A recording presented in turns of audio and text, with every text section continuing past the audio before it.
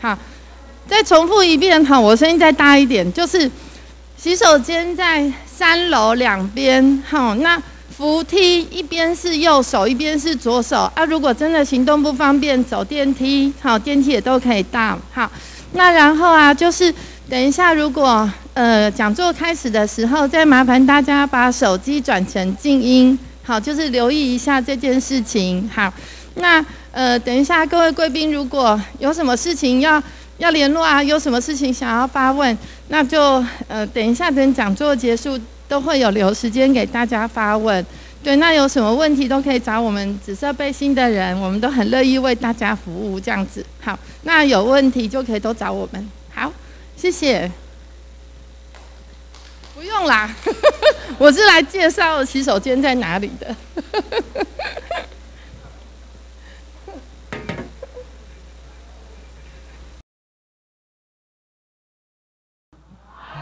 有没有把你的手机看看有没有静音？有没有？突然间，不知道有人讲妈妈来吃饭了，回家吃饭了，会不会？好，先把静音，啊，把它弄静音起来。那我们今天是放着很轻松的心，可以。距离坐远一点，待会我们可以来动一动，好不好？好，不够大声，好不好？好，好，好，那你先给你们，我们每一个人自己一个掌声，好不好？今天能够来到当中，耶！欢迎今天来到我们这里来参加我们的讲健康讲座。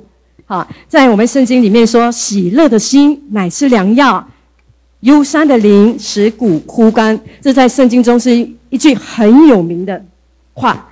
只是说什么？该说什么？喜乐的心乃是良药，对不对？所以我们要很喜乐的。所以呢，这句话呢，不仅是一句劝勉的话，更是一句呢千真万确，而且是符合科学证据的，好不好？你们今天每一个人，我们都带着一个好心情，而且是有平安喜乐。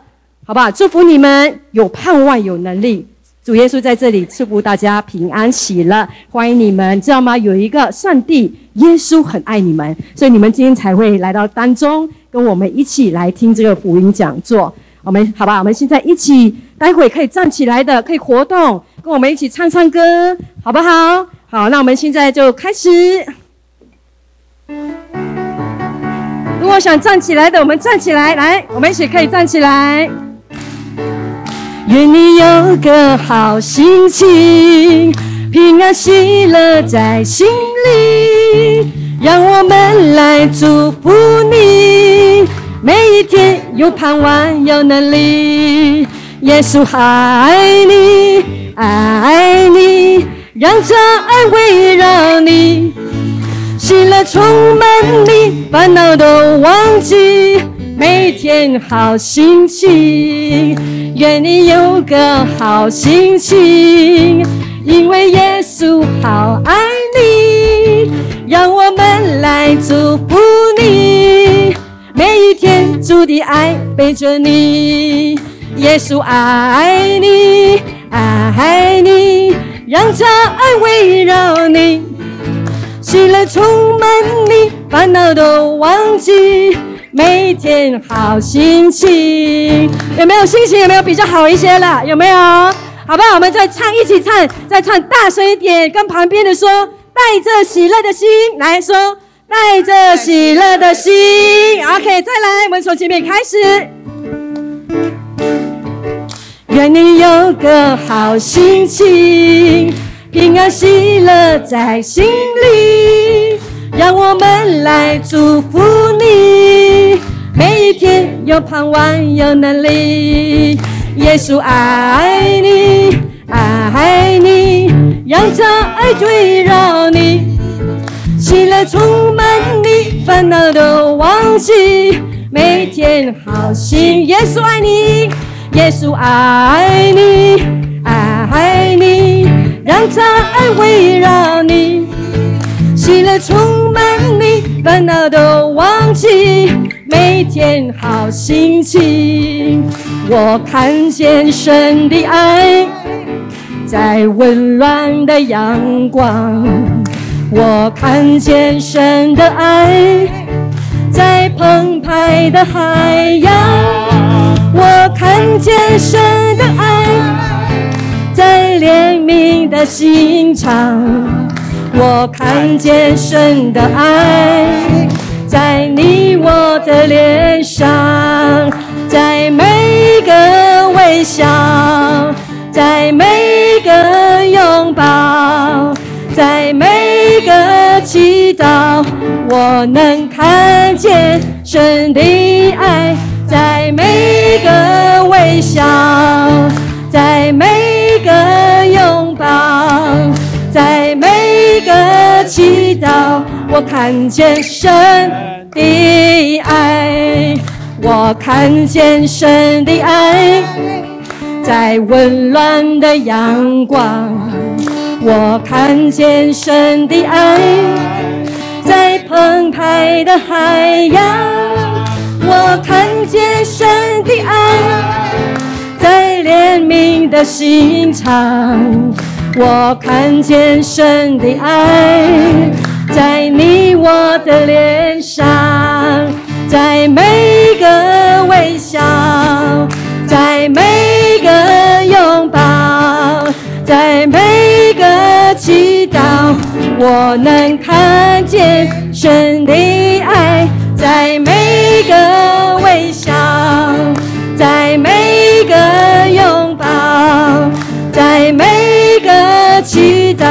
我看见神的爱，在每一个微笑，在每一个拥抱，在每一个祈祷，我能能看见神的爱，在每一个微笑，在每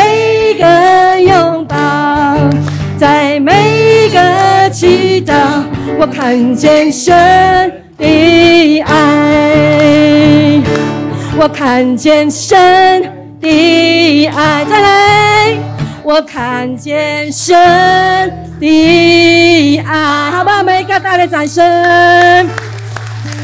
看着旁边的说，对着旁边左右说，你今天笑起来很美丽，好不好？来说，你今天笑起来很美丽哦，哇，哇，还哈利路亚，哈利路亚，因为呢，我们每一个人呢，都是上帝的宝贝。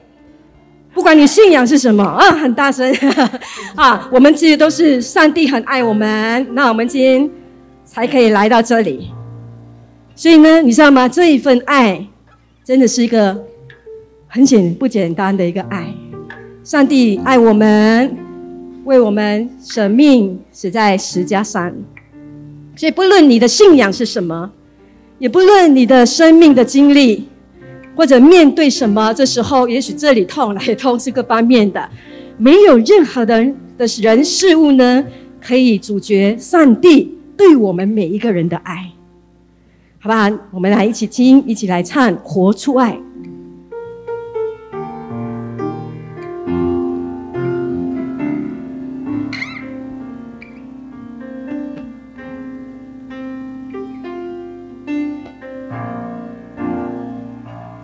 有一份爱从天而来，比山高，比海深，测不透，摸不着。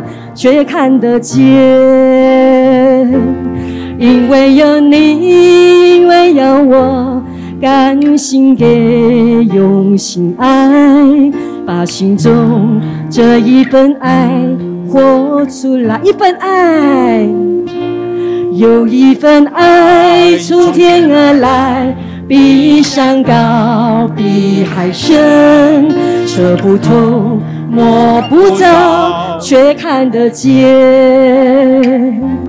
因为有你，因为有我，甘心给，用心爱，把心中这一份爱活出来。耶稣的爱，耶稣的爱激励我，敞开我的生命。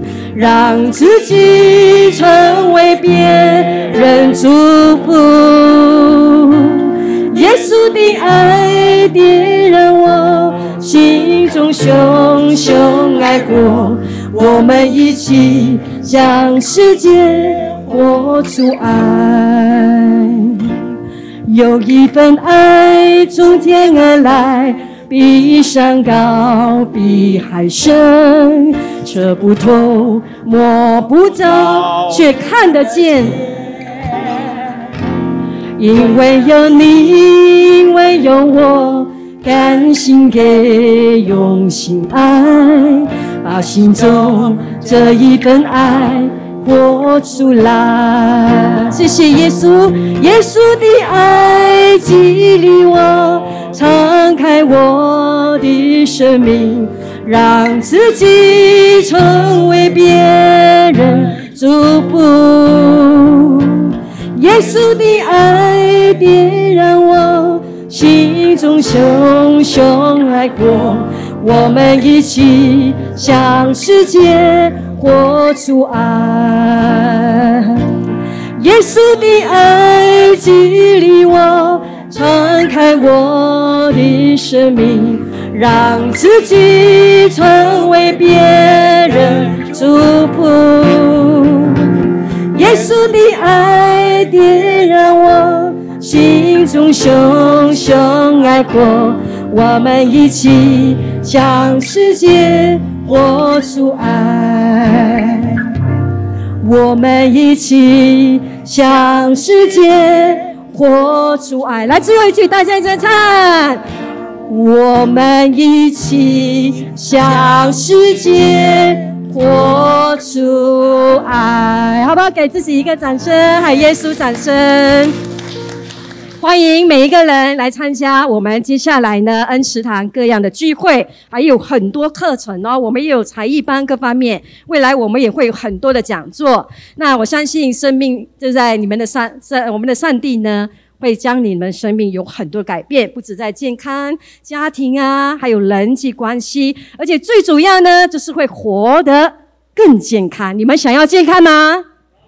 对不对？所以今天才会来到当中嘛，哈，好不好？你们可以跟旁边左右的说，再讲一次，很高兴看到你，来，很高兴看到你，看到你，好，那我们现在，好，很高兴看到你们，那我们现在可以慢慢的坐下来，我接下来呢就把时间交给。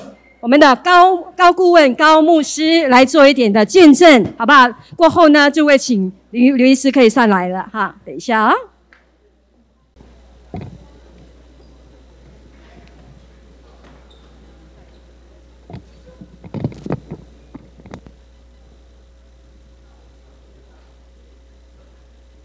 大家好，大家好，我是教会的呃高牧师哈。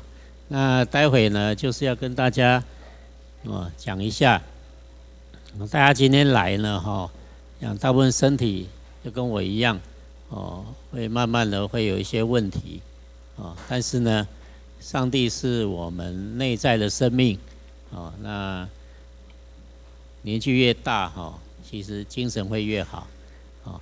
他这个窍门呢哈，就是哦，就是来到教会呢，哦，读神的话。哦，神的话，呃，是真理，它可以振奋我们。哦，那哦，我们来看一下哈，神的话。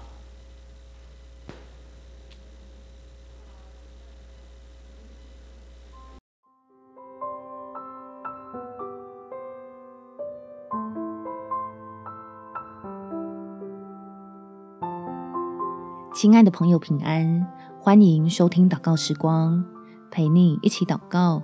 一起亲近神，以爱为出发点，万事起头不难。在创世纪第十二章第二节，我必叫你成为大国，我必赐福给你，叫你的名为大，你也要叫别人得福。抓紧天赋的爱出发吧，离开舒适圈的确会让人感到为难。但是在神信使的保守之下，我们领受的福必会比吃到的苦还多许多。我们一起来祷告：天父，当我对于陌生的人事物愁眉不展的时候，求用你的话语来提醒我，要抓紧你必定会成就的应许。相信不管哪条路，都有你美好的带领。为要让神的儿女经历到你，使我在世人的眼中成为精彩的见证，证明不论顺境还是逆境，真的都有够用的恩典，使我成为你慈爱的代言人，以分享你的慈爱当做我的喜乐，好在你的帮助与供应里，不断扩张自己境界。足以盛装超乎所求所想的祝福，叫别人也得福。感谢天父垂听我的祷告，奉主耶稣基督的圣名祈求，好门。祝福你，在神的爱中得着满足，有美好的一天。每天早上三分钟，陪你用祷告来到天父面前，让路越照越明亮。耶稣爱你，我也爱你。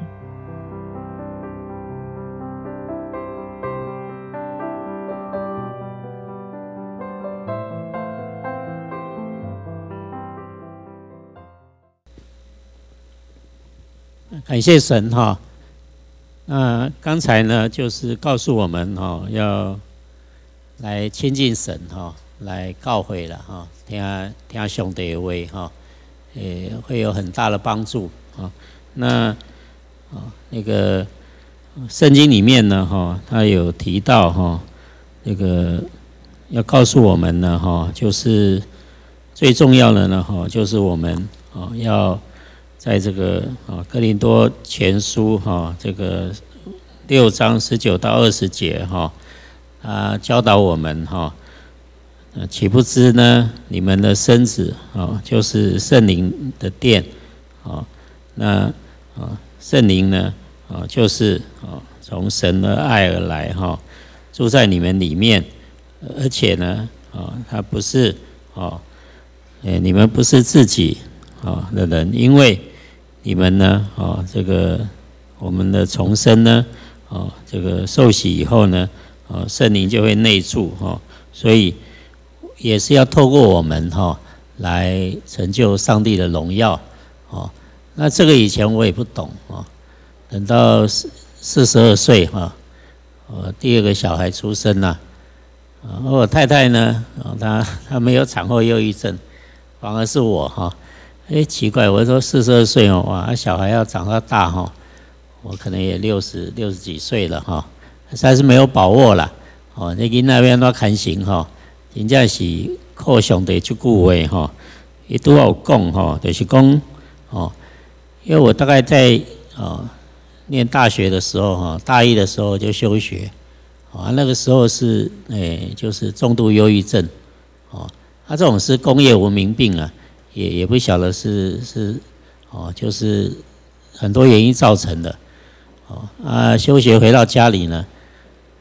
真的重度的忧郁啊！如果你不晓得哈，没有以前，因为四十二岁才受洗，才慢慢读圣经啊，啊，才才恍然大悟哈。读到这一段呢，啊，你会发觉呢，身体是圣灵的殿，啊，不可毁伤，啊，在家里呢，哈，就会啊，这个重度忧郁的时候，你就会想上吊，他想说上帝的时间还没到啊，啊，那个那个绳子断掉哈，那我阿妈我妈妈哈都吓死了。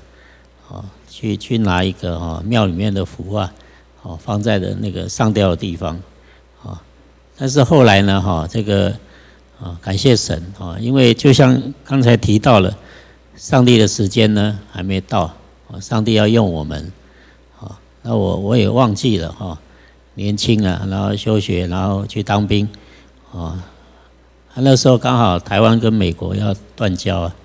最紧张的时候，民国六七六十八年啊，还有在马祖第一线，哦，整天操练呐、行军呐，哦，那那他练体育系一样啊，练了两年体育系回来就忘记了，哦，身体有什么毛病，他就跟着复学哈，大一下哈，练经济系呢，哇，两年大头兵呢，脑袋又空空了，那感谢神哦，我遇到很有爱心的神父啊，哦，那个。我系主任是神父哈，武大经济系的神父，那他知道我这样子，他又是我班导哈，他说你这样呢，迟早又要走路了哈，对他用很有爱心哈，他把一上呢哈这个微积分、经济学跟会计学哈这三个最重要的哈那个第一名的同学啊啊帮我克服啊。那他他哈本身是法学院长，他也很忙哈。那他就哦这个在那个系哈有研究室，那三个同学呢轮流帮我补习啊。哦，那我一下呢，成绩慢慢会起来。哦，那很感谢神哈，就是神的怜悯哈。那他那么忙哈，他也会过来探探头了。哦，看有没有在念，啊他们有没有好好教我哈？有时候就不好意思哈，老人家这样殷殷切切啊，就常常啊，整个图书馆我是最后一个走的啊。到现在每天晚上啊，十二点一点，我又是不想睡，我还在念东西呀。哦，就是那个时候，你感觉到呢，有上帝的爱，真的是有上帝的爱哦。那还没受洗，哦，那后来呢，哈，这个，哦，在休学休学的时候呢，也碰到很好的，哦，在美国来的宣教士啊，他就鼓励我，啊，去我爸爸工作的这个台大植物系标本馆去贴标本，那他给我攻读费啊。那我也不晓得，我想说这样读啊哈，靠我发多啊，当系主任哦，又是标本馆馆长啊。后来他过世以后，宇宙光啊出一本挚爱啊，是描绘这个宣教士哦，父子两代在中国的啊南京六合啊，哎办医院、办神学院哈，然后办教堂啊啊，蒂木华牧师呢哈。他就是贵格会派来台湾宣教的，啊，呃，最早的宣教师啊，他也是哦，我爸爸老师，哦，那那个就是说台大植物系标本馆的哦馆长，他他也没讲哈，他就是默默的哈把那个哦他自己的薪水啊，哦拿一部分给我当工读费，他都没讲，后来他过世以后啊。啊，我我很怀念他，啊，然后刚好我爸爸也是追思礼拜哈，那我就去宇宙光啊，啊，我问说那本书还有多少库存，他说两百多本，我说全部要，啊，跟我大儿子啊，哦，赶快再回去，还有爸爸的追思礼拜，那时候是请周周牧师，哦，我们我们本堂的主任牧师呢，哦，还有很多弟兄姐妹。啊，用办佛教、办基督教的方式哈，来办这个追思。那我在那个时候就把啊两百多本啊这个很有爱的宣教士啊宇宙光帮他出了致癌啊送给大家啊。他等到呢啊这个四十二岁啊啊一九九八年小儿子出生了啊啊反多宫啊这个还有这么漫长啊哦。会不会碰到什么哈不好的，都没有把握啊哈，哎，后来又又跑去医院哈，工作也累哈，又跑去医院。我知道这一次要找基督教的医生呢，啊，有台安医院，啊，那今天哦林医生来了台安医院，啊，又是基督教医院，他很奇怪，我去找那个张典奇医生呢，哦，身心科啊，我说哦工作压力大。哦那好像以前的毛病又跑出来了，因为真的没有找到耶稣啊，哦，这毛病会会一直出来哦，所以会觉得哦，也不知道怎么办哈。啊，那张典奇医生呢？啊，那时候在开拓教会啊，哦，他把他温州街的诊所啊拿一半来办教会，然后上帝感动他。奇怪，怎么有去找医生拿药？他说啊，你扯花不好了，你要扯压缩了。阿奈给我一张教会的名片了，不是给我药啊！我也觉得很奇怪。我一看，哎，我在温州街，他就住我旁，我住了旁边了。哦，我就常常去哈。哎，那我就发觉，哎，哎，真的是有上帝呢哈！莫名其妙又把我找回来哈。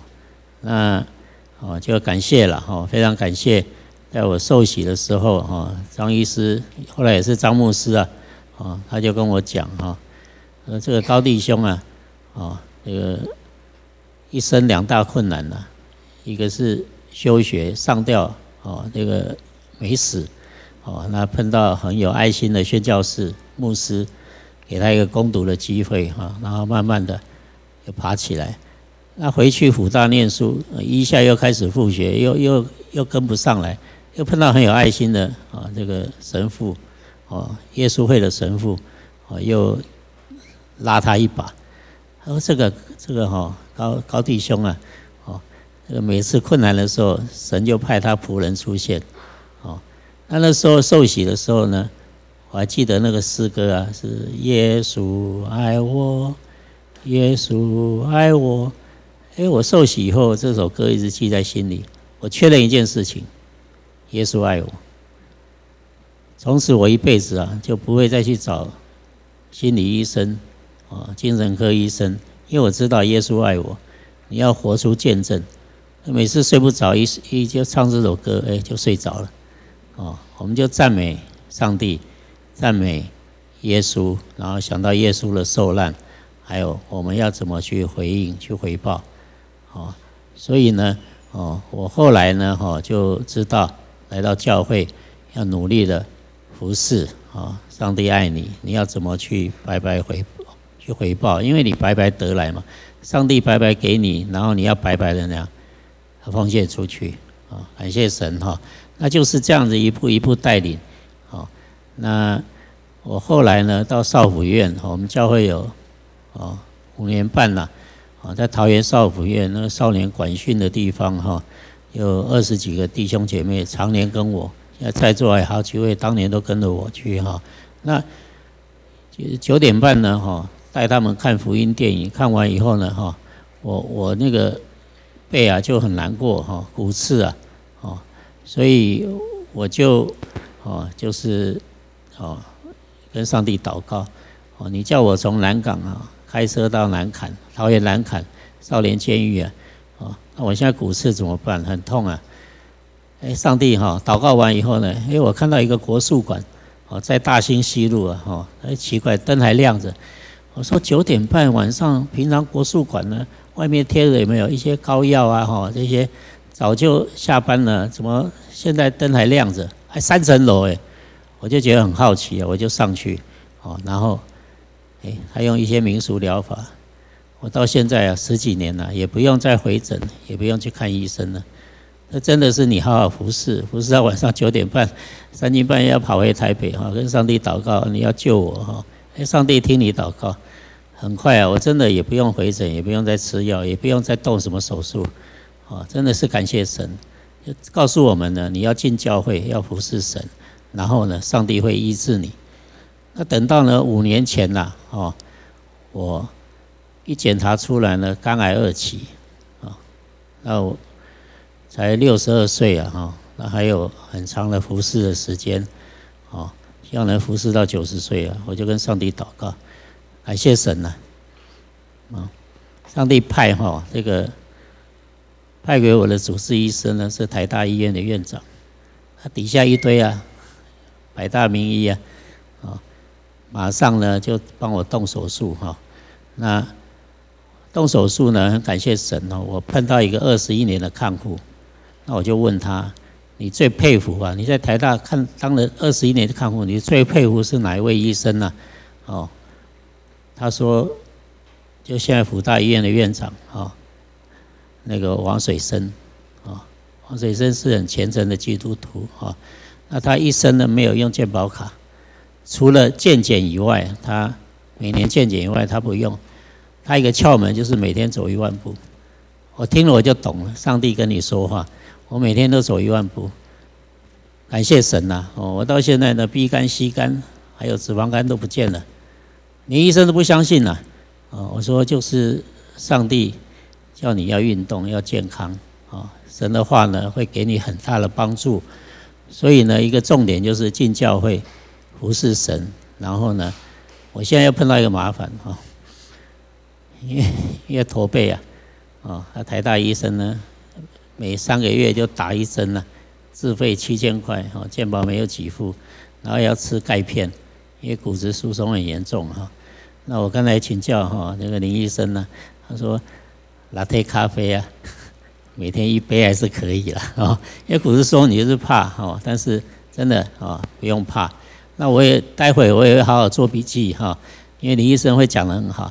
也许呢，透过他，上帝透过他呢，可以医治我的驼背啊，哦，这是我所期盼的。我相信各位也跟我一样会很多麻烦，但是不要忘记了进教会，读神的话，然后呢，好好服侍神，上帝会不会医治你？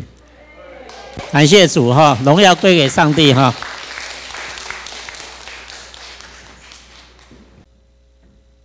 哦，大家各位弟兄姐妹平安。那各位应该知道今天来参加的讲座是什么讲座吧？就是我们的颈椎脊椎保健常常见保健讲座。那大家应该常常都是会低头划手机啊、看电视什么，都会维持同样姿势，很容易压迫到颈椎的问题。那今天特别邀请到呃台安医院的外科主治医师林幼莲医师来这边跟大家讲解，就是常见的一些问题。那就麻烦大家仔细听好。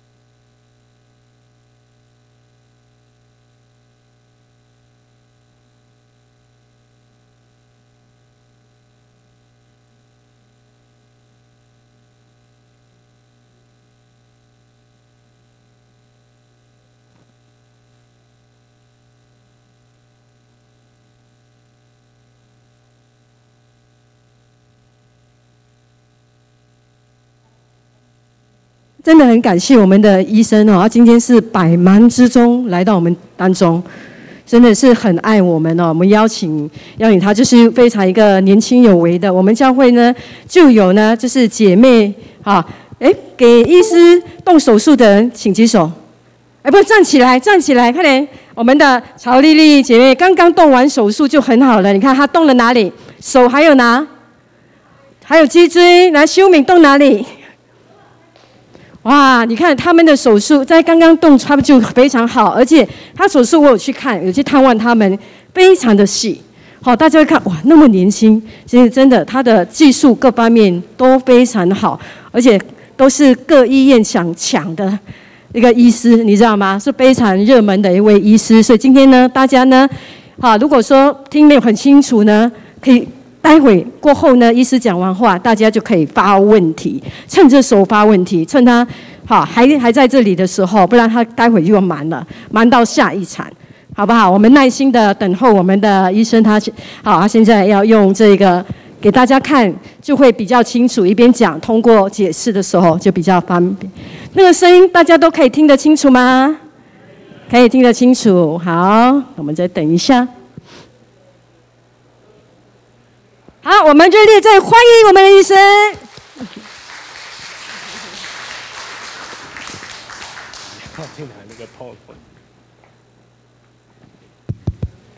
好，谢谢，感谢上帝的爱，让我有机会在这边跟大家分享。好，那谢谢高医师的引言。那我本身呢，今天非常荣幸到这边跟大家分享我们对这个脊椎。跟我们的一些关节的保健，它对我们来说是非常非常重要。那我是台安医院的医师，本身是专长于骨科，那尤其是脊椎部分的状况，所以刚好看到我们的两位 见证人都知道我们呃专专专注的部分。哈，好，那下一个，这是我自己本身的简简历。啊，我是毕业于台中的中山医学大学，然后之后在台北荣总做训练，本身是做骨科的训练。那训练完之后呢，接着也在脊椎外科做研究医师。那之后到了日本庆义大学，就是 KU University 做呃再进一步的进修这样子。那所以本身的专长是在脊椎显微手术啊、内视镜啊，或者脊椎的。呃，侧弯的矫正，还有脊椎导航手术，那还有颈椎的部分也是 OK 的。那其他像是骨折啊，或是人工关节置换，对我们来说都是算比较熟悉的手术哈。好，那今天最一开始呢，要跟大家先分享我们今天的主题有哪一些，我们的脊椎呢有哪些症状。那大家就问，就说我的脊椎有没有问题啊？有没有需要手术？那不开这个手术会不会瘫痪？哦，不开会不会因为走不了路啊，或者手举不起来啊？那接下来这个我们在髋关节跟膝盖的关节的退化的部分。那接下来也是一个大家最常见的问题，就是一个骨质疏松、骨质流失，要怎么去呃预防跟去维持你的骨质。那最后就是给时间给大家多发问这样子。好。那第一个状，第一个主题就是我们的一个脊椎的手术。大家常听到那个椎间盘突出、空八空孔，大家都知道吧？啊，空八空孔就椎间盘坐骨神经痛啊，压到神经。那脊椎有颈椎，上面颈椎有胸椎有腰椎，那压到不同的位置都有不同的症状。在这脊椎狭窄症，狭窄症是脊椎因为骨质的退化变得很窄，所以脚会麻、手会麻、没有力气，走路啊走不久这样子。脊椎滑脱呢，就是我们常常就说的脊椎 t u k 就是像楼梯一样阶梯滑脱。这常因为是退化，造成你的脊椎滑脱，像楼梯一样，也会造成你很不舒服。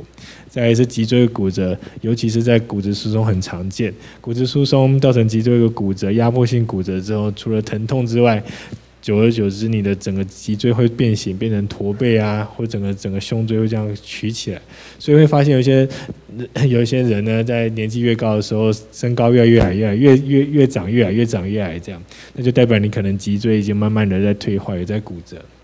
那最后最严重的是脊髓的损伤，脊髓损伤就是像比如车祸啊，或者是一个拉扯性很严重的撞到，让你的脊椎前后。被拉扯断了，那这是我们最差遇到的状况，也是愈后最不好的状况。这样子，好，现在大家都有手机。每个人都有手机，每个人都会划手机，所以大家非常的小心。我们建议，啊，你在划手机的时候，尽量是拿成这样子看的。你如果是这样子看的话，你的脖子啊，就会大概有三十公斤的重量。所以脊椎拿这个手这样往下看的这个重量角度越高，你的脊椎颈椎所受的力量越大。那久而久之呢？你的颈椎的椎弯会开始退化，所以椎间盘会突出啊，或者是椎盘滑脱，所以大家还要非常的小心。这是要给大家第一第一个看的东西。那这个呢？这之前有一个艺人，他因为他年轻的时候工作，那有人拍片啊，从高处坠落，可能颈椎受伤。那可以大家可以看到他一次开了，呃，这颈椎的二三四五六七，他开了三四五六七，开了四个。这个就看起来像马卡龙的东西，我们叫做颈椎的人工椎间盘。大家可以猜看他做了四节要花多少钱？哦，对，答案在这边，一百一十万，这是非常非常贵的一个手术啊。但是这种状况有没有必要呢？就是看每个人的决定。但是颈椎的状况一般来说，真的是很严重的病人才有需要接受到一次换了四个关节这么多的。那那他为什么会这个问题？刚刚有讲过，他从高处坠落，然后长期的手麻，手没有力气。那 那我在之后就被接受了采访，他就说。在大家常听到的科技新贵啊，在台积电工作那些工程师，每天用电脑或是每天在修机台的时候，大家长期的低头或者要低头的姿势做姿势，做了很久之后，他们基本上脖子退化会非常非常的快。那我这个病人呢，他就是在金属工作，那也是手啊麻到受不了，那连睡觉都会被痛醒。那时候他也是也是因为因缘际会之下的找到了我，那就跟他做了。我们是做只有做两节的手术，可以看到这个位置。那这个颈椎手术来说，目前的科技的进步，我们的伤口也不会说太大。那他隔天呢就已经可以下台走路。那第三天他回去继续上班，因为他们非常的血汗，他们请假也不一定请得太久这样。甚至他之后，他本身有喜欢打高尔夫球的习惯，他说他反而回去之后高尔夫球打得更好了这样子。所以基本上来说，他们在临床上的症状会是这个样子。好，那接下来这个是之前采访的一个东西，有一些病人啊，在颈椎开完刀之后，结果发现左手原本不麻，结果开完刀变成左手更麻了。那这是什么状况？因为我们脊椎是有两边，有左边跟右边。你可能第一次发病的时候，右边的脊椎已经开始疼痛。那手术完之后，右边的神经减压，就发现左边呢，可能骨刺又长出来了。那这种状况，再开第二次手术来说，风险会比较大。所以我们现在有新的方法，就是用内视镜的手术帮他做脊椎的处理，那这个风险会比较小。好，这是我们的脊椎，从上面有从颈椎连接你的大的头颅，然后往下有胸椎、有腰椎。颈椎呢，总共有七节，胸椎有十二节，腰椎有五节。那最下面的屁股的是肩椎。再来是连接到你的骨盆，所以每一个阶段呢，它会分出一个神经，每个神经所接触的能控制你的肌肉啊，举手的肌肉、肩膀肌肉啊、大腿啊、小腿都是不一样的，所以这可以让我们医生在临床上做一个很明显的判断。那脊椎从上面到下面呢，你的大脑会给你的讯号，比如说你要现在动动你的手。它就从上面这样传递下来，那传递的过程中会经过这些中间的一些神经元，然后从前面啊、后面啊传出去。那摸，比如说你要摸东西，摸到东西都要从后面这样传回来，从后面的神经传回来之后，再往上传到你的大脑。他说：“哦，这个东西是热的、冰的，是什么颜色？这样子啊，什么的样的感觉？”所以你只要在这个传递过程中有被压迫到。像这个地方，我们神经一般来说要像圆圆大大的，像这个有一个小山丘，就是我们脊椎的椎间盘突起了，它就被神经被压得像香蕉的形状。我跟跟我病人说，这像香蕉的形状，代表你的神经压得非常的严重。这个这个就是可能会造成。将来你走路会不稳啊，就常常容易摔倒啊、受伤这样。那在像旁边这个小山丘，如果长在旁边，这种就压到你的神经根，它就让你手麻，麻到你受不了。所以这都是要检查过才会知道的东西。那我们对于这个脊椎椎间盘的突出有什么？都是分段性的治疗。像一开始最简单的保守治疗，有可能刚开始发生的时候，我们可以先吃药，可以先休息，可以去做复健，拉拉腰啊，做一些动作。可是你做的这些动作保守治疗没有效果了，你找到医生了，医生帮你检查之后发现你有问题了，那可以尝试一些比较简单的神经阻断啊，或者打一些局部麻醉的针来测试你的神经是不是真的有问题。结果真的有问题，你也受不了，你连走路啊、坐啊、睡觉都不舒服了。那才最后才建议手术，所以不会说你一到诊间就说我要来手术，那种医生有点，呃，除非你是非常严重，连站都站不起来，那这个有可能。但基本上我们还是会以一步一步的来看病人在，呃，治疗的过程的状况这样子。好，所以我们这个可以，哎呦，sorry。可以看到我们现在的科技的进步啊，可以从旁边看到最早期的时候，我们开放性的手术在以前没有显微镜啊，只有肉眼的时代的时候，我们的医生也是非常的辛苦，要常常低着头这样开刀。所以我的很多的老师，他们基本上颈椎都是有问题，他说他手很麻，手很麻这样子。那他们因为开刀的时候伤口，你可以看到原本一个小节段的神经呢，可能要开十公分的伤口。那后来呢，我们的显微镜慢慢进步，然后它的解析度啊越来越好之后，我们可以用这个小的套筒做这个显微镜的手术。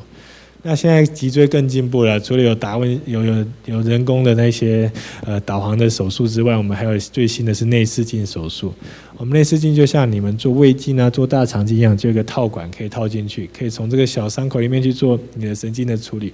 基本上这些都是因很明显看到从伤口从十公分变成三公分变成一公分，所以代表我们的器械越来越进步，那也同时代表这个。这个要自己花费的东西会越来越多，但是这是因为呃一些器材的关系。那之前最有名的就是我们赖清德总统，他之前椎间盘突出，那也也在我们台北荣总开了手术。那他开完刀之后也是会很好，恢复的非常好，现在可以到处跑来跑去这样子。那那时候我也也很幸运的接受到一个采访。那通常这种开完脊椎椎间盘突出的手术，基本上还是你要。继续的保健，因为椎间盘它本身就像一个大块的橡皮擦，像一个弹橡皮擦一样，它一块掉出来之后，里面呢有一些不好的碎片，有可能在之后又再掉出来，那越掉越多就会压迫到神经，所以手术之后，我们是把最不好的那几块给移除掉，那剩下来那一些不好的地方呢，它有可能继续掉出来，如果你没有好好的保健它，没有维持你好的姿势，它有可能会再保出来。那在我的病人里面，一年大概有百分之四的病人会会有一些这种症状在发生，所以不是说开完就没事，只是说开完之后你必须要好好的呃保护你自己的脊椎，知道你的脊椎已经有问题了，这样。再来啊。好，所以这个呢，这是我们一般很常见的颈椎的手术。可以看到这个病人这个颈椎经融合在一起，这叫做颈椎融合手术。可是开完刀之后，病人还是觉得很不舒服啊。所以我们做了检查之后，发现他那是第一次开刀的时候，他右边好了，可是左边还是不太好。所以我们就给他做一个内视镜的手术。内视镜可以非常的看清楚，看见你的神经就从这里走了过去。那我的工作呢，就是把压到神经上面这些骨头呢，把它给移除掉，就是我们所说的骨刺，再把它下面的神经把它放松。那病人他恢复状况都会会会很快，会很好。然后再接下来这个，哎咻。那这个呢，叫做很明显叫就是就是一个急性的椎间盘突出。椎间盘突出就是大家会觉得好像只是突出而已，但是它如果突得很严重的时候，它会喷出来，会从上面这样掉下来。那这个地方看起来像眼泪一样。那这个病人来到急诊的时候也是会痛哭流涕，因为他实在非常的痛，可能连弯腰的姿势他都痛到受不了，上下举步维艰这样。那这个地地方这个压到神经，可以看到这个。这一块东西把神经整个挤到旁边去了，那对于病人来说是非常不舒服的的一个东西。那我们也是用一个内视镜，然后可以看到这内视镜下面把这个椎间盘把它抽出来。那神经的话，它得到了放松，可以看到抽出来椎间盘就像这个样子。而且我们伤口可以维持的非常的小，大概一公分左右，所以它病人恢复会非常的快。但是这个当下病人的神经呢，还是需要慢慢的恢复，因为神经受伤还是需要到。半年到八个月的时间，让神经慢慢的修复。这个图案呢，可以可以看给大家看，我们叫什么叫健康的腰椎？腰椎是每一节像骨头的东西，那中间的这个像弹簧的，我们就叫叫椎间盘，它是就像汽车的避震一样，它就是你的脊椎的避震，它可以分散你的脊椎的压力啊，可以让它做前后弯曲的角度。当年纪变大，那长期。搬重的东西，长期蹲坐啊，或是跪坐的时候，可以看到这前面这个尖尖的，这就叫做骨刺。这些骨刺长在前面都没有关系，可它要把你往后面长了，往后面长压到后面的神经，你就会有症状，会不舒服。那在长了歪七扭八之后，就开始腰椎会开始侧弯啊，会歪斜这样子。这个地方可以刚刚看什么叫脊椎的狭窄，在最上面可以看到神经外面一圈白白亮亮的。这是非常好的神经，它没有受伤。可是当你脊椎压成这么小的时候，它就非常严重的狭窄。啊，这个就是我们脊椎的滑脱。你看，脊椎正常来说后缘都是平整排列，可以看到这两个，它就像楼梯一样，一阶一阶这样上去，就叫做脊椎的滑脱。一般来说，滑脱轻微的不是说没有症状，你只要好好的保养，倒是没有问题。可是滑脱的严重，你只要走路都不舒服了，那可能就是要来检查到底什么原因造成你不舒服这样子。OK，那现在大家最常见就是压迫性骨折，有可能老人家站起来，晚上半夜起来上个厕所，一个跌坐下来撞到腰、撞到屁股，有时候危险造成髋关节骨折，有时候造成你的脊椎的骨折，这个都是比较严重，而且会造成非常疼痛。那一开始如果没有治疗，没有发现的时候呢，你的脊椎可能慢慢开始驼背、驼背、驼驼驼，驼到最后身高会变矮了。那比较怕的是爆裂性的骨折。你如果从比如说一楼啊一个楼层高这样掉下来，它的爆裂性骨折造成后面的骨头非常的不稳定，它往后凸起，压到后面的神经。那那个时候你可能连脚啊走路都会不好了，所以那时候就非常的紧张了。那目前来说，大家都有听说灌骨水泥吧？灌骨泥、骨浆，对哈。骨浆的部分来来说呢，就是可以看到这个病人他拖了很久很久，久到他的中间这边有一个黑黑的微笑的曲线，哦，他就是骨头已经整个被吸收掉，里面都空洞化了，所以你可以看到这个角度，脊椎这样画出来的角度，会变成一个驼背的形状。那那时候他来一进会非常的疼痛，因为这个叫做我们叫假性的关节，他就说脊椎里面突然跑出一个会动的一个空间。那这个治疗目前来说也很方便，我们就是用一个小针把骨浆灌在里面去，那灌起来之后把这个高度撑住了，它就疼痛可以达到缓解。但是不是说做完这个手术就没事了？做完这个手术之后，你还是继续要治疗你的骨质疏松，这才是最重要的一件事情。那严重到如果像这种骨头都扁到剩一条线的，非常严重的话，那只能最后我们只能用手术来做固定，因为这种病人可能打完骨水泥之后，因为骨头非常的不稳定，他可能会再继续驼背，所以有时候还是要看看你的医生，要给你要什么样的建议来做处理，这样子。OK，Sorry。那这个是我们最不喜欢看到的病人。有的时候以前像骑机车骑很快啊，或是那种冲撞，你看这个头跟这个脊椎中间裂开，这种基本上来到医院呢，都是下半身已经瘫痪的病人。那这个病这个愈后会非常非常的不好。那像这种也是常常车祸会发生在胸椎跟腰椎中间横断面这样子，来的时候可能脚都没有力气，没办法走路。所以这是我们在医院上最不喜欢遇到的病人，因为他的愈后会非常的不好这样子。好，这个第一个部分我们脊椎结束，有没有什么想要问的问题？还可以啊。通常这个姿势呢，就可能你坐久了，低十久一个小时之后，把头往上仰，大概十五十五秒，放松一下你后面的肌肉，这样子。哎，那很正常，因为你不对低太久都会这种声音。还有吗？好。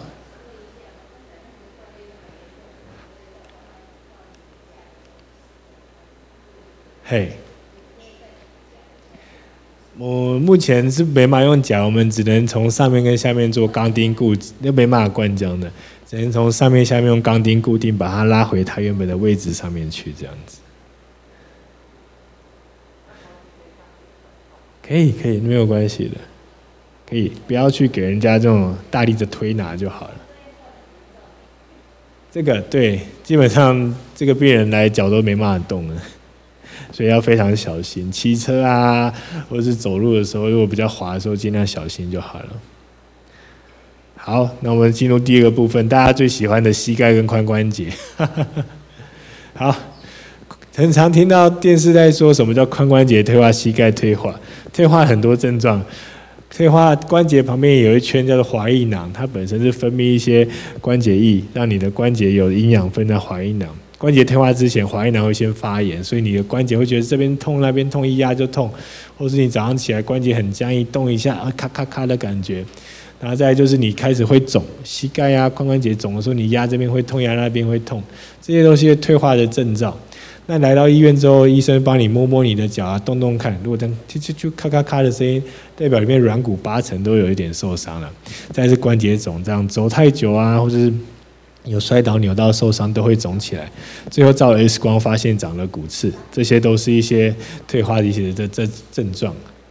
那髋关节的退化呢，会是怎么样？正常的髋关节，台语叫做骨轮，不过髋关节就是圆圆一圈这样子，它就是一个股骨跟一个腰那个坐落在你髋关节里面，它这个头呢跟你的髋关节要一个正常的空间，所以代表你的脚可以活动。那它这个很严重的髋关节，看到这个股骨头都挤到它上面去了，它都没有正常的关节在里面，那就代表你连脚要活动了都会卡卡的，一个转身都会痛，这个时候就很严重了。这个时候，他大部分我们都会跟说病人说，你这个已经成熟，可以开刀了，已经已经很严重，骨头都磨到没有了。那髋关节的开刀也不会说太困难，它大概现在因为器械的进步，大概有六公分啊、十公分的伤口。他甚至从屁股后面开，从屁股前面开，从侧边开都有。每个医生习惯的技术都不一样，只要能够处理好，都是一个好的方法。所以这髋关节来说，退化的比例呢，通常膝盖跟髋关节是四比一，膝盖会有四种四成的病人会比较多。所以膝盖退化是髋关节退化的四倍以上，所以髋关节跟膝关节的病人比例来说，膝盖退化的最多。那膝盖本身呢？大家已经有照过骨科医生，有看过骨科医生，没看过今天也看过了。那骨科医生呢来的说你膝盖痛不舒服，那就先照一张 X 光片。X 光片我们可以从膝盖的退化给你做个分级。最简单的分级就是像这样子，内外的，就是这个叫小骨、小小腿骨的腓骨跟胫骨。你看到这个就是它的外侧，可以看到内侧跟外侧的这这个黑黑的地方叫做关节腔。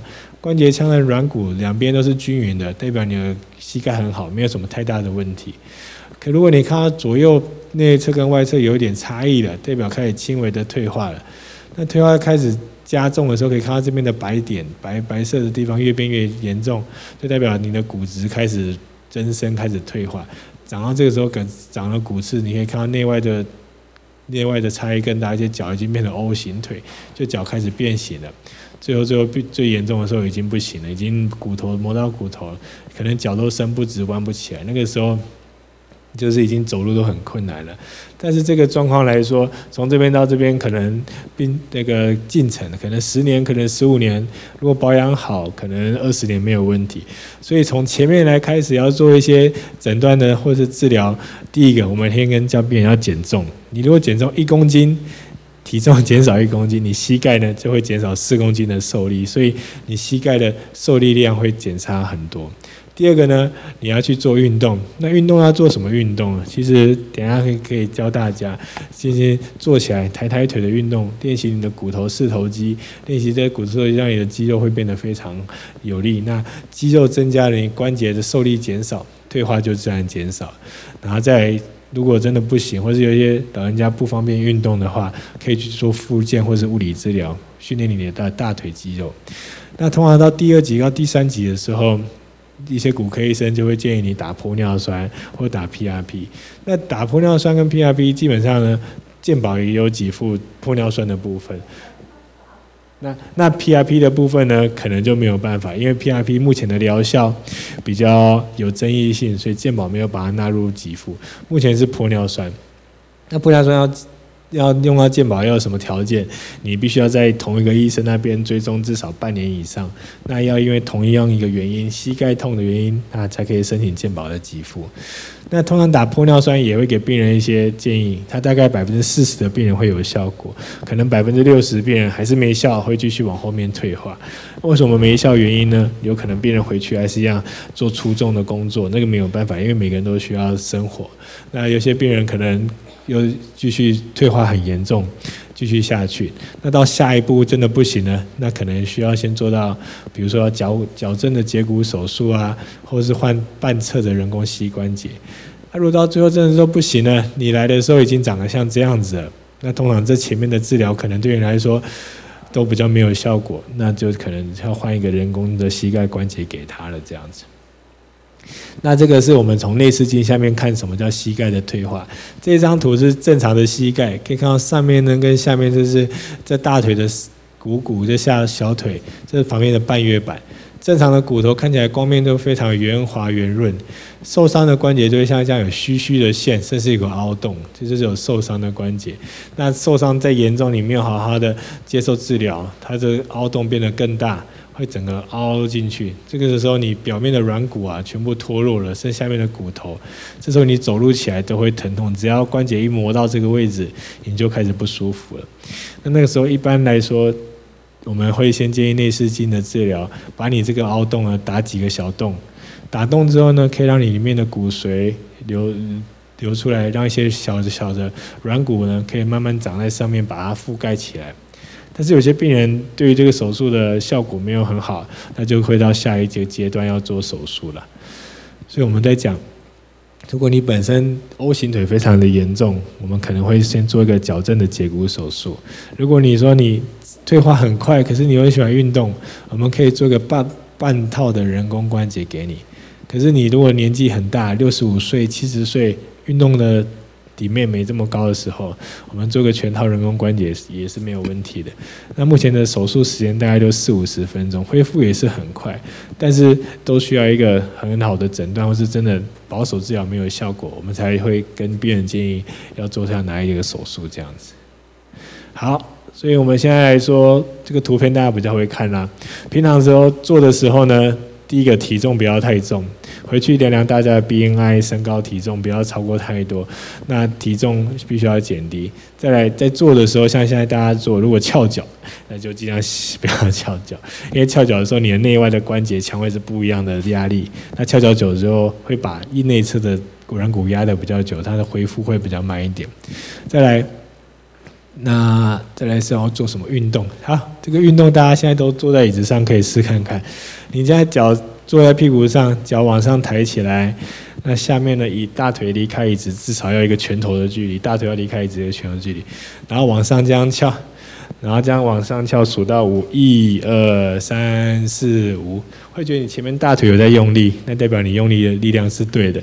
如果这个动作你可以，你可以这样往这样做，往前往外这样往上下打几个小勾勾，这种动作可以每天都做五到十分钟，早中晚做个五到十分钟，训练你的大腿的力量。当然可以保护你的关节。OK，所以第二阶段是髋关节跟膝盖关节，有没有什么特别的问题？哎哎，还对，啊？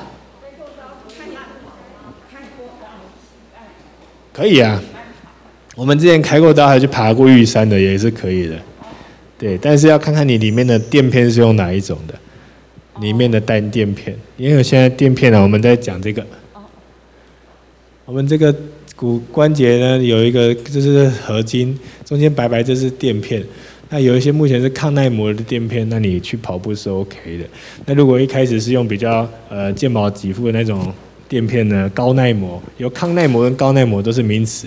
抗耐磨它可能十五年之后，它可能会开始磨损，就要可能要换新的垫片。那高耐磨可以撑二十年到二十五年的的状况这样。对，这个啊，人工膝盖关节健保有几副？如果没有健保呢？没有健保几副，通常大概落在十万到十五万左右。对。可以先举手。请问医生啊，对，如果换全套人工关节，哪一些是要用自费的器具？自费的呃，自费的那个材料？膝盖的吗？对，膝盖的。膝盖的本身来说，健保已经有给付你上面跟下面这个金属的部分了。那为什么还要有十几万呢？那个中间的垫片，我们在讲的是这个垫片。它是一个垫片，它可以让你耐磨。健保给付的是抗耐磨，它就是普通的垫片，用十五年左右会换。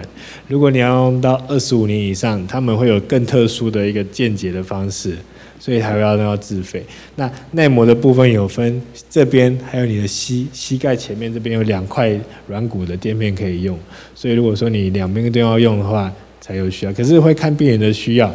如果说七十五岁、八十岁，我是不建议用那种东西，因为八十岁像活动力减弱，你用这些东西，并不会对你的活动来说有太大的影响。这样子。好，谢谢。对。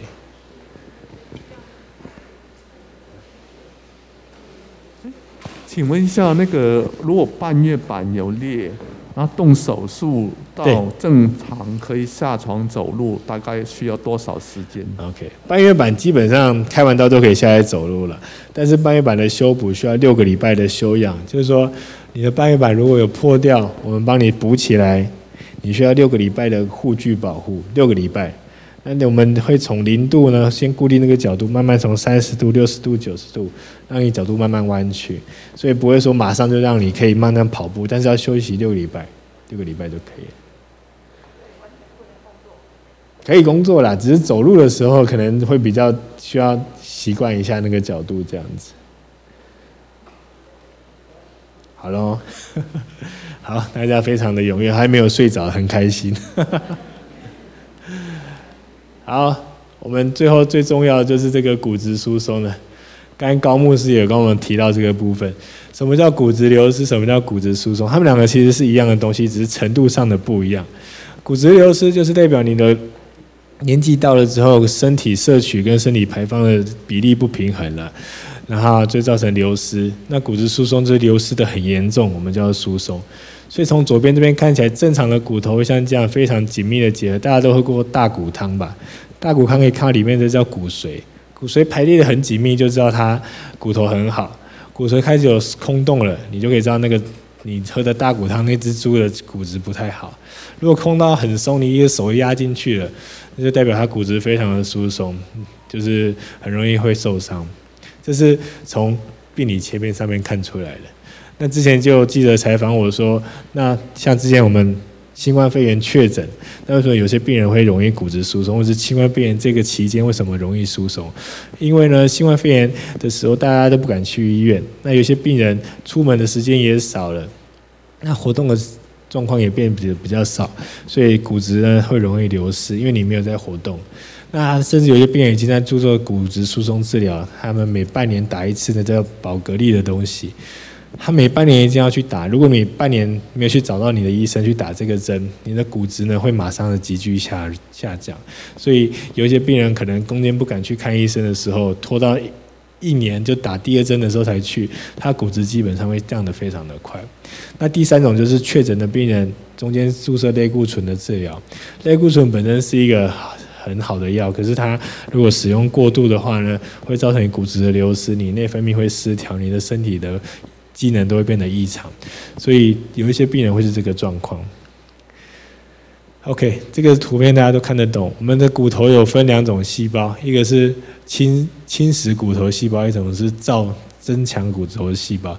那为什么上帝要给我们这两个细胞？其实它是非常一个很和谐的一个作用。你有你你的骨头有受伤的时候，它需要先有个侵蚀骨头细胞，把它先。消消掉一部分，新的骨头才能长在上面，才会更强壮。可当你年纪越来越大的时候呢，这个骨头的效果还是保持的。可是造骨细胞越来越下降的时候，你的骨质会开始流失的越来越快，越来越快。所以导致最后他两个人工作，他一个人工作，他没办法去做平衡，就开始会骨质流失，就容易会骨折了。所以这是电子显微镜下面看到的，正常骨头的骨头缝隙非常、非常的、非常的狭小。那这个中间叫骨小梁，一节一节的骨小梁，它也非常的紧密结合。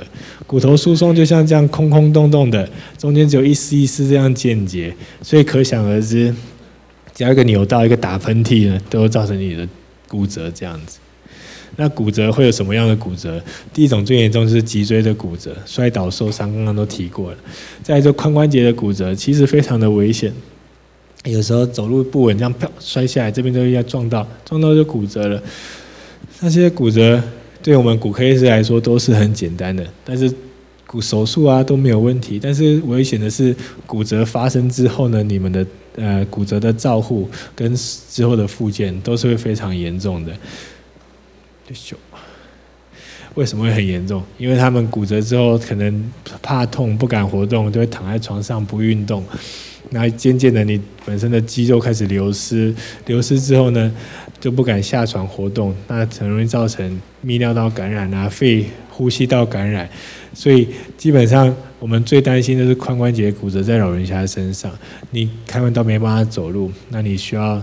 大家都需要协助你，那最后呢，你连自己上厕所的方法都没有之后，会造成死亡率会非常高，一年会有百分之二十的病人会死亡。但是目前因为现在有很一些很好的用药或是一些开刀的技术，可以把这些死亡率慢慢慢慢的降低。这样，其实这个死亡率大概跟女性的乳癌或是男性的一些呃。射物腺癌、大肠癌的比例是很高的，所以不要轻忽这个骨折的状况。那在家里要怎么检查自己有没有什么问题呢？第一个，先去去量，站起来之后看你的后面脖子后面呢，跟能不能贴平在墙壁上。如果没办法贴平，有点往前，那你就要小心了，看看有没有超过三公分。如果超过三公分的话，第一个我们就怕你是有已经有驼背。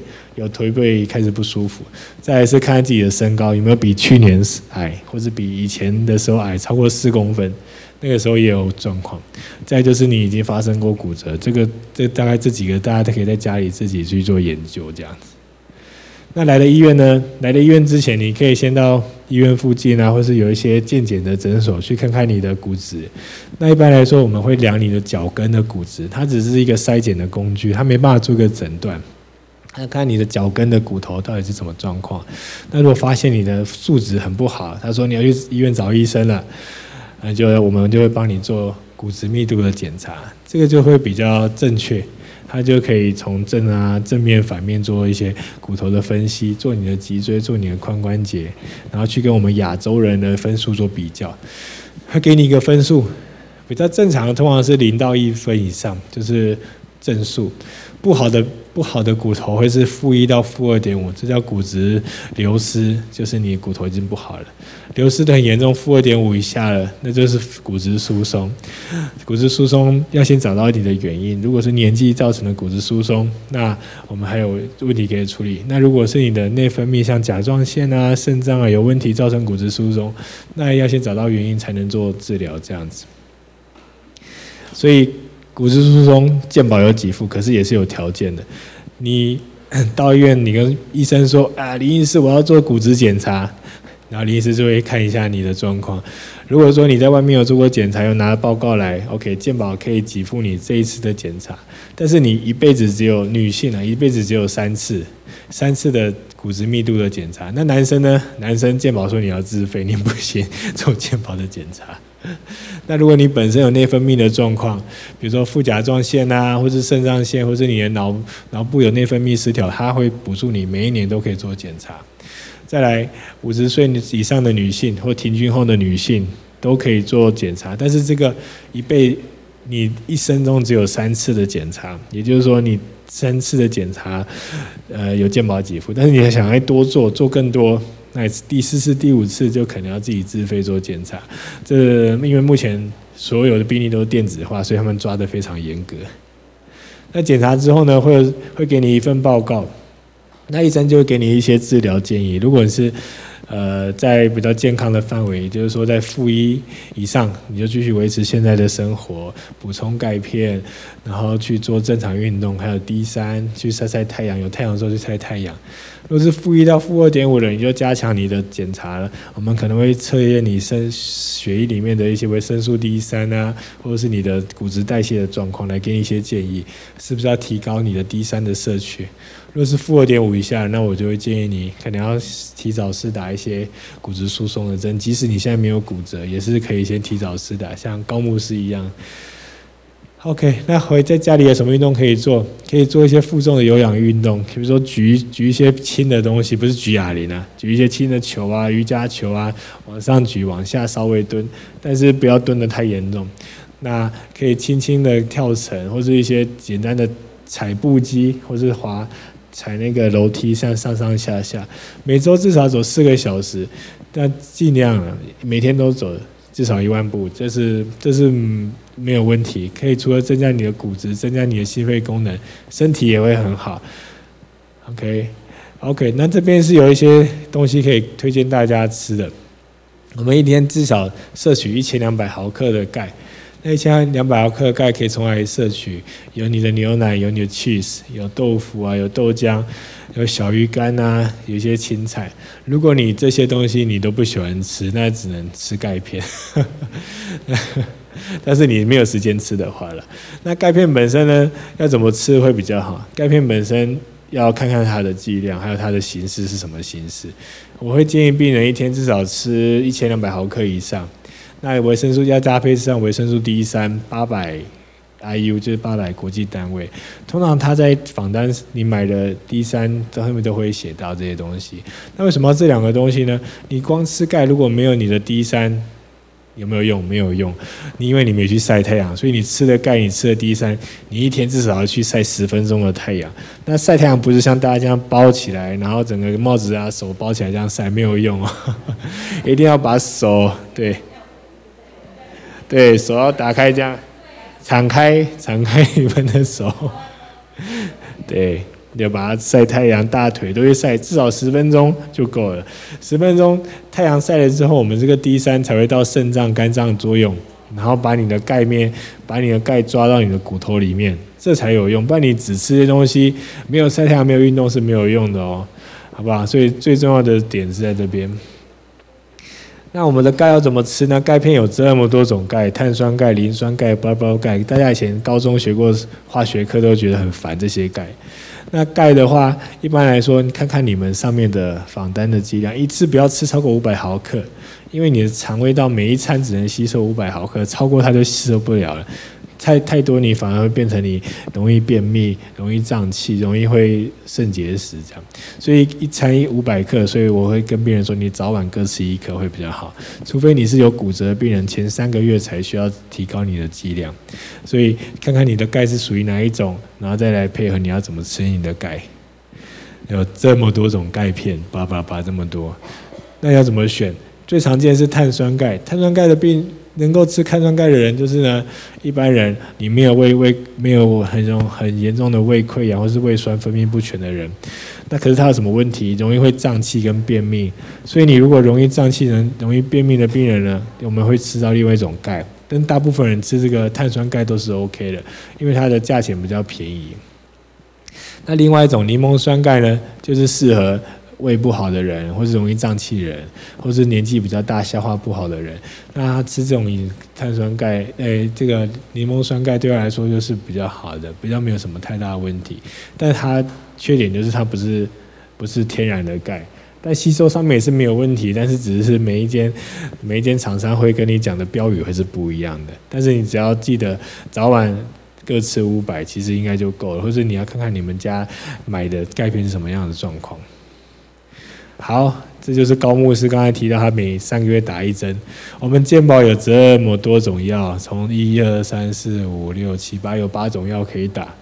那这八种药到底要适合什么东西？要怎么样呢？你要当然问你自己的医生，你的医生会给你一些建议。基本上，嗯，这这边这边一二三四，这边这边左边这边六个呢都有健保给付的条件，但是要条件的话，就是要看你们符合这些条件才能健保给付。没有的话，你如果要增加自己的骨质，除了刚刚提到钙片运动之外，这些打这些针，你都要去询问你的医生。那后面这两个是目前最新最新的针，可是呢？它会用在一些特殊的状况下才会做使用，或是你本身骨折很不好才会建议使用，因为这针非常的昂贵，所以通常是最后线的武器这样子。所以最后跟大家复习一下，要怎么照顾你的骨质疏松。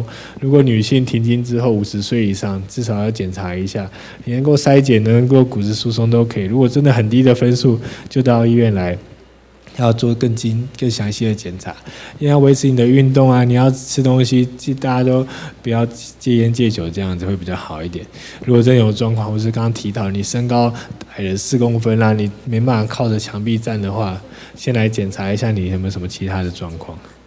OK，我是台医院林医师，希望大家喜欢今天的分享。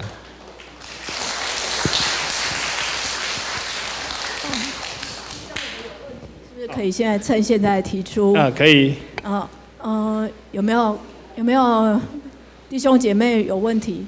哦，来，请请用麦克风，大家都听得到，大。哎，这个退化打玻尿酸有效吗？哪一个？玻尿酸。玻尿酸哦，要看你的状况耶。我们刚刚有提过，你的在哪一个等级的时候？哇，如果你是在中间这个等级，这边呢还是 OK 的。好，但如果你退化到这边，可能就没有效果了。哦，到第四就第四、第三级、第四级就比较没有效果了。那就要开刀。诶，就是看你的状况。对，如果说真的角度已经变形的很严重了，很痛了，连走路都没办法走路，那才建议要开刀了。我看左脚。右脚没开，可是膝盖我半年就打一次玻尿酸。那可以啊，继续做保养就好了。做保养就好。对对对，你就用左脚多踩一点，这样子就可以。谢谢医生。不会。谢谢。哎，请请问医生，哎，刚才那个药好好像很多哦，啊，比如说我们吃吃那一些钙片或是 D 三，哦，D 三是普通是两天要吃一次。可是平常可不可以跟其他的药或是胃药一起吃，或是把时间给拉开？D 三吗？哎，对。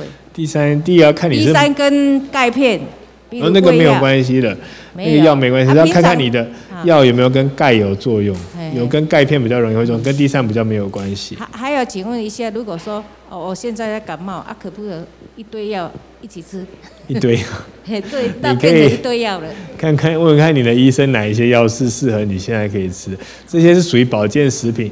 保健食品也就是说你都每天都可以吃没有关系，不要超过剂量就可以了。对。啊，还有中药呢？中药那就要问中医师，因为我没有。是两个可不可以说混合一起吃的？嗯，可以的，没有应该要问问看哪一种药。好好，谢谢。好。哎。我们这个脚关节炎跟这个手哈，跟这个手这个这个这样在动，会这个有没有关系？这个没有关系啊。那这个是跟。就关节的退化，这大拇指也有关节会退化。对对对，你常常做这个动作容易它它会受伤。对啊对对，那肌腱肌腱会扭。退化是不是？对对对。不是那个。板机板机的问题。扳机只会是痛在这个位置，嗯，还有一个朋友，我有一个朋友，他这个脚没有力量哎。对。但是他没有没有没有事啊。嗯。但是他走不动啊，怎么办？先看看第一个不是看脊椎的问题，脊脊椎，嗯，如果脊椎没问题，可是肌肉肌少症，肌肉开始萎缩了。哦，是哦。对，好。好，谢谢。林医师，林医师想请问一下哈，那个踢腿的时候，这个髋关节这边会啪啪啪的声音，然后会酸酸痛痛的。有一些是关节有个韧带在里面受伤，我们叫关衬衬垫，愚蠢的衬垫受伤会这样的声音。有什么运动可以让它比较大角度运动不要做，因为它已经破掉，还会那种声音这样。对，林医师，呃，我替在座的这些长辈哈，跟您请教，就是麻烦你可不可以做一个比较明确的示范，让我们知道那个他们在家里的时候坐在椅子上可以做的那个保自自我保健的那个方式。哦，如果因为你刚刚讲的可能他们太笼统了，他们可能不太能够听得懂。哦，看到了，好。你要讲的是，好。有几个动作可以做的，我可以跟你讲。好，这个动作比较简单。这个动作是你这样坐着，哎，兄弟，你这样脚这样往伸直，对不对？这样翘起来，你的大拇拳头放在下面，好，然后脚脚往上翘。好，开始数到五，一二三四五，然后往下降。我一二三四五，你摸摸看你这个力量有没有硬硬的？如果有硬的，代表你有练到这个肌肉，代表这样是 OK 的。对，如果你脚这样一直在抖抖抖，代表你的肌肉已经萎缩，已经不好要开始练习。好，这是个第一个动作，就是肌肉没有力气才会抽筋。对呀，你要这样练习，早你就早中晚看电视都各做一百下，这样会好一点点。就在这就是没有肌肉没有力气，就还会酸。然后再来呢，你如果要伸展你的背部，你就是这样子，这样往后面这样往后这样压，你的脊椎呢就会回回到比较正常的角度，这样像整个身体往后做拉筋，或者你躺在床上呢，躺在床上把自己的手这样撑起来，这样撑起来都是可以的，对。好。可以啊，那没有问题的。太。太太蹲的太低就不要，轻轻的是没有关系的，对。请问医生一下，哪边？啊？哦，因为骨松越来越矮了，怎么办？骨松矮多少了？现在？长高吗？长高比较困难了，就是预防再继续变矮比较比较重要。那怎么样可以不要矮的那么快？去吊单杠啊。就会拉拉单杠，把身体上拉稍微拉一拉。老人家还可以拉吗？要找到高度比较安全的地方。怎么样算安全？你稍微拉起来之后，脚尖还摸得到地，算安全的。这样拉起来要垫到地上是吗？对你垫拉起来垫到地上，你脚开始稍微放开，手可以用力的那个状况就 OK 了。OK，那一天要拉几下？你就看你的状况，十分钟都 OK 的。十分钟，嗯，好，谢谢。OK。啊，林医生，请问一下。那个脊椎滑脱，我们可不可以靠运动让脊椎复位？没有办法，拉不回去。拉不回去。对。诶，基本上还是拉不回去的。嗯我我帮那个帮他们问，他说，呃，睡觉的时候都不会抽筋，可是睡到半夜的时候脚会抽筋。对。是不是缺钙？呃，钙跟钾离子，所以可以吃一点香蕉。香蕉。对。好。还有谁要问？林医师啊，哎，哎，林医师，哎，你要不要问？对呀，肌肉都是肌肉的关系，你会常常低头啊，这样弯弯着腰做事情都会这样，对啊。对。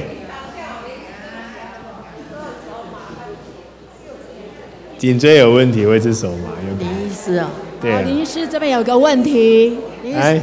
林医师，我这里有个问题啊，我我我我那个脚哈，五个手指脚哈都会僵硬，是什么原因？脚趾头会僵硬，是什么原因？这个就比较难一点，脚趾头比较难的。啊？脚趾头就比较难的。要去诊断要花时间诊断，那 没办法回答你。哎，没有，他前面还有他，对我等他一下。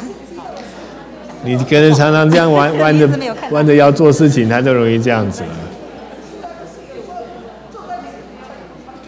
把麦克风拿给他。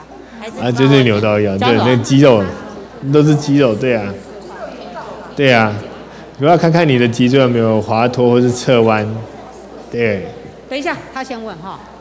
还有，我我帮他问，他说八十几岁的老人家，如果脊椎受伤，那尾椎退化，可不可以建议呃，会不会建议他开刀？尾椎基本上不用开刀的，肩椎、尾椎都不用开刀的。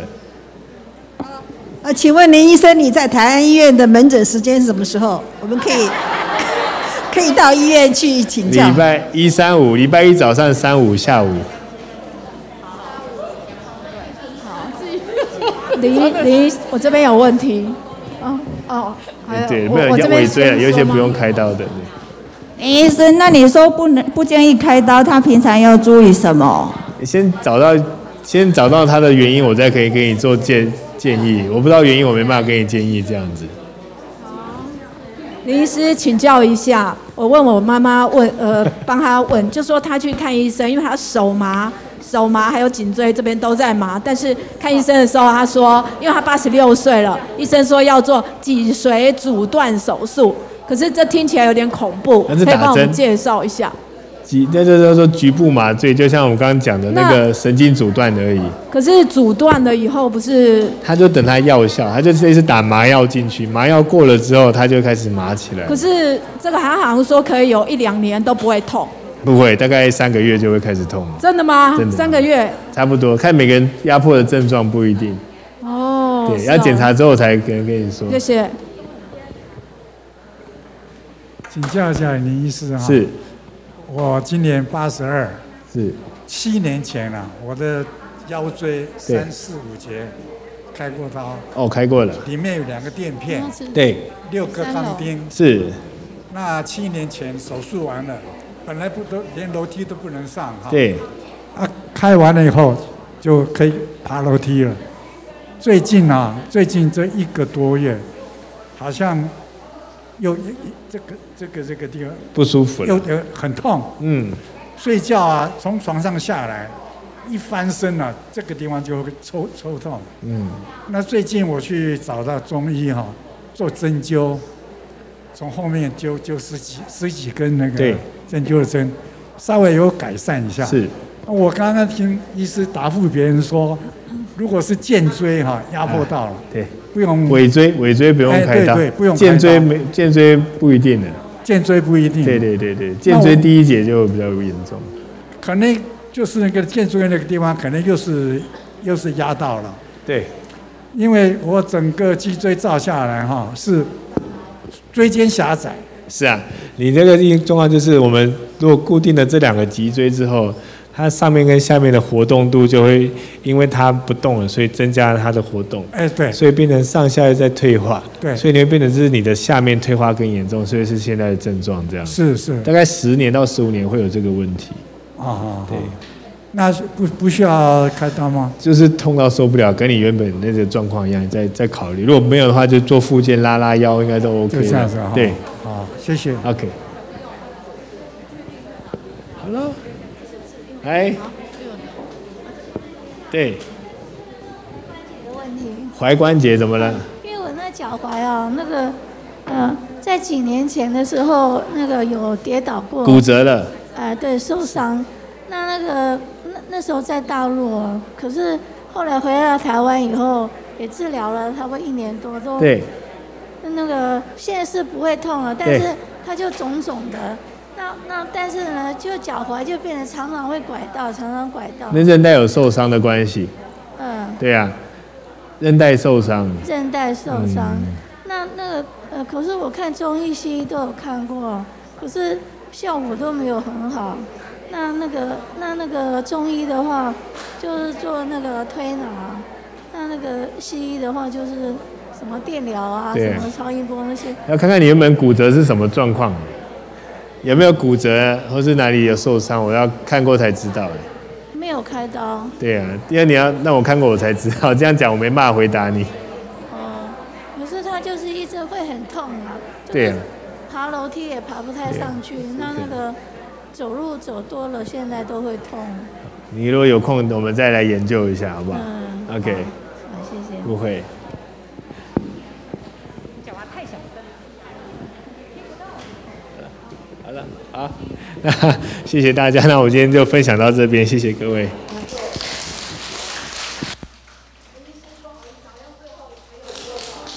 最后一个问题，没有，我没有。最后一个问题吗？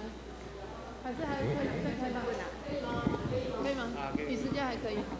林医师请教一下，宝格丽对我们骨质疏松真的蛮有有改善的，就是有效果，效果好吗？你们就你们研究。我目前来说，我最最不会建议病人打宝格丽了。啊？为什么？因为很多医师都不会跟你讲它的一些作用。风险比较高。好，我们可以看到这个地方，宝格丽就是这个药，它是每半年注射。可是呢，你可以看到这边，如果停药，停药超过两个月以上，你没有打到这个针，你的骨质会马上降到比原本还要差，而且骨质会骨折会非常快出现。所以打这个药病人通常是九十岁以上，或是你整个有肾脏疾病要洗肾的病人，我才建议打这种药。不然在外面的诊所因为方便，他只打皮下注射，你去打一针就好了，他就让你这样过去。可是基本上我的病人很少会打到这种针，除非像我刚刚讲的肾脏不好的病人，年纪大不好配合才会打这种针。一般来说会先以这种一年打一次的鼓励强为主，一年就是这个这样。或是高牧师他打的是半年一次的这个，半年，鼓励强也有健保，有健保啊。健保的给付就是你有骨折有骨质疏松，它才有给付。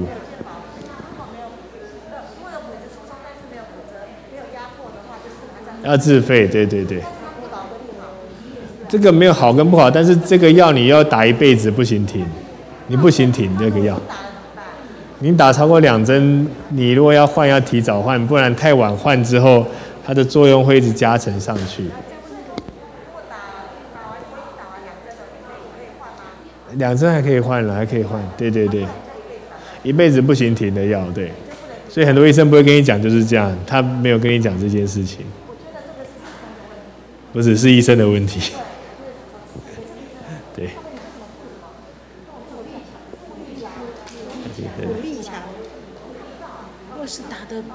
好，格力，我打的是宝格力。古力强，它每个药都有它的好跟不好。它主要问题是你如果做植牙的时候，你要跟牙医师说你在打这种药物，双磷酸盐类，它打的药会影响到你植牙的牙床会不好这样子而已。一般都没有关系，他打三到五年就可以，他就维持一辈子。对对对对，维维持一辈子这样子。打到三年，打至五年。啊。啊！哎，医生，我想请问你，你刚才说打到三至五年，那个品牌是什么名字的？古力强。那我再问你，一年的高牧师打的是另外一个药。哦，古力。我可能没放在上面。医生，我麻烦你，我再问一下哈，我是做了髋关节手术，我是睡觉吧。掉在床下，粉碎性的骨折，换了髋关节了哈。我从那个时候就开始打半年打一次的那个保格力。保格力，对。那我现在要是我还是继续打，那不打的话会出现什么状况？出现状况就是你骨质会降到你原本开刀前那个骨质。开刀前哦。所以你不行不打。哦，要打多久？持续下去打。一辈子。一辈子哦。不行停。好，谢谢。太可怕了！那万一我们停了怎么办？就会骨折了。就会骨折啊！对，就要很小心。哇，怎么医生都没有告诉我们呢？我告诉你啦。我是说打，我被打的，被打的，真的医生没有告诉我。好。我们有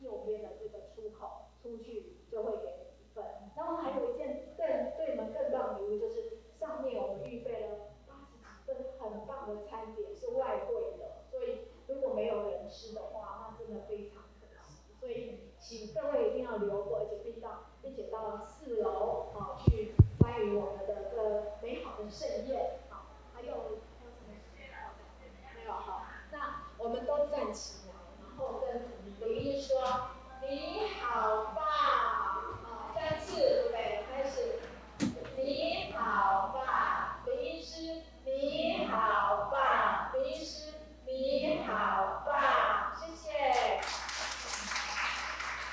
好那我们做成九对不对？好请把我们的手叉腰好。我一下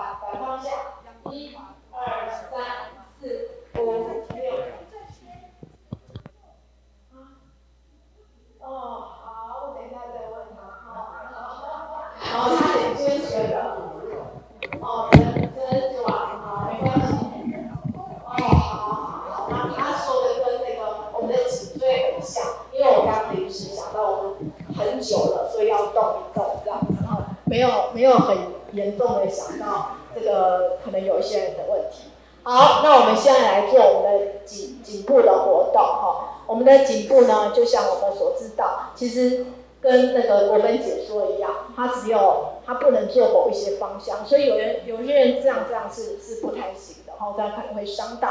我们只做的做我们常常看到了，好像把我们的头扶在我们的肩后面，然后我们的头慢慢的往前屈，一、二、三、四、五、六、七、八，好，再来一次，一。二三，慢慢的，五六七八，好，再往后，一二三四，要把手打开，五六七八，二二三四五六七八，好，手放下，然后再来是手扶上你的呃右，你的右手在左侧。然后轻轻的往右转，然后另另外一只手呢就往下，可以伸展到我们颈部的肌肉哦。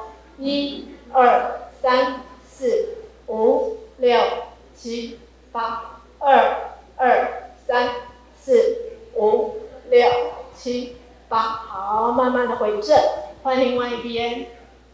开始，一、二、三、四、五、六、七、八。二。二三四五六七八，呃，刚刚看到有一人非常努力的身体都歪了哈，要尽量保持我们轴轴心要正，然后呃就是头，然后另外一只手要伸直这样哈，所以我们的左跟右、前跟后我们都伸展。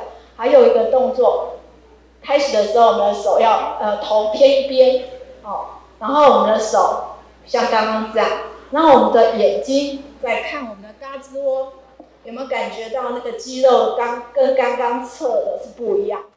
所以当你一偏好，眼睛看你的胳肢窝，有没有觉得你的后颈有被拉伸的感觉？好，再来哦，眼睛看胳肢窝，一、二、三、四、五、六、七、八，二、二、三、四、五、六、七、八，好。然后再换另外一边，记得转过来以后，眼睛要看胳肢窝。一、二、三、四、五、六、七、八。二、二、三、四、五、六、七、八。好，好，再来一个。当你头弯过去以后，往上看，哦，往呃你的右头歪右边，眼那个。偏了以后要往上看，我们刚刚是看大波，现在要往里另外一个方向，左上方看哈。来，先开始正，好，我说歪有什么在一起哈？预备，往右歪，好，右歪，然后看左上方，一、二、三、四、五、六、七、八，二、二、三、四、五、六、七、八，好，回正，好，再换另外一个方向。好，头歪一边，往上看，一、二、三、四、五、六、七、八，二、二、三、四、五、六、七、八，OK，好，这是放松的运动。如果还有时间的话，你可以加强一下颈部的运动。但是因为我们时间的关系呢，我要留在我们下一次有机会再见面的时候，再跟各位，呃。呃，我们一起来学习怎样可以加强我们颈部的运动活动。那已经要结束我们的这个聚会了，我们现在有请我们的周牧师来给我们做一个祝福，我们就可以到上面吃点心了。欢迎周牧师。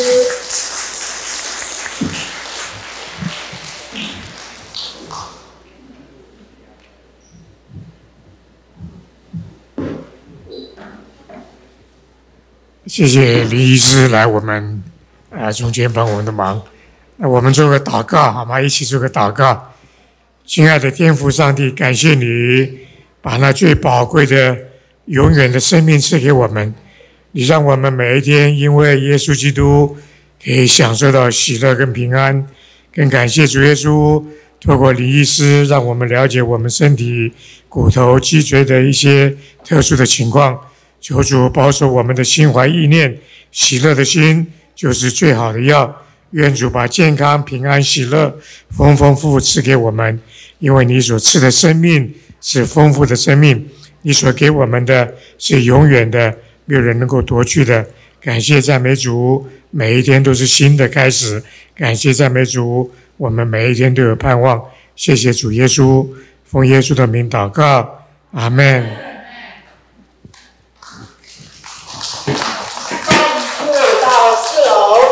然后记得领你的精美的小礼物哦，看看那是什么，是我们特别。